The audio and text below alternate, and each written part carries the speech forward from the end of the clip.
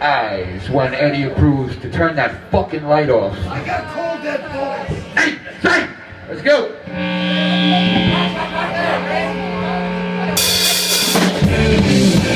go.